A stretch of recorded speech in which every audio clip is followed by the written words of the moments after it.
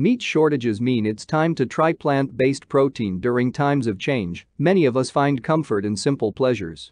Like a great burger. Yet, some of those simple pleasures have been compromised by the dramatic changes caused by COVID-19, including the disruption of the animal meat industry. Meat plants are closing, causing meat to be harder to find and its prices to rise. Some grocers are limiting the amount of meat shoppers can buy to curb pantry loading. I know these issues will be resolved as the pandemic subsides. The animal meat industry will recover and supply chains will be restored. But right now, you may be asking, what do I do without meat? Now is the time to try plant-based protein. Made from simple ingredients you know, Lightlife plant-based meat is as nutritious as it is delicious. And you can find the products in your grocer's meat case. To be clear, I'm not against the animal meat industry. I believe we're all trying to solve the same complex challenge.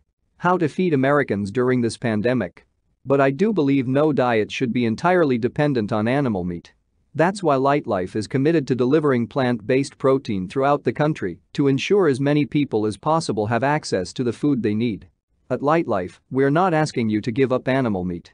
If you want to eat meat, eat meat. But we believe you should also eat plants. Whole plants and plant-based protein. That's why we strive to bring more high-protein options to your table.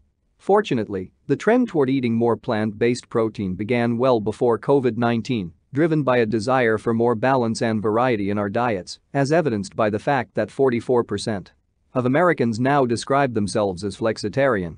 In fact, Lightlife sales were up significantly in the first quarter of 2020.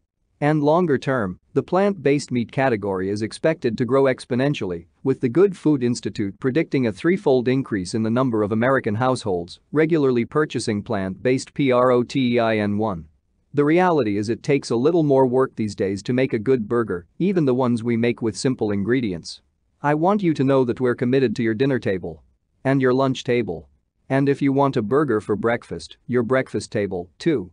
I am so proud of our production teams working around the clock to ensure our products are available at your local grocer.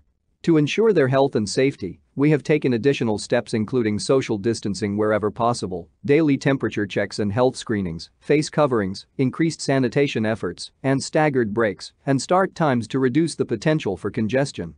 This is in addition to the sanitation procedures our team is already accustomed to and the variety of personal protective equipment, PPE, we routinely wear.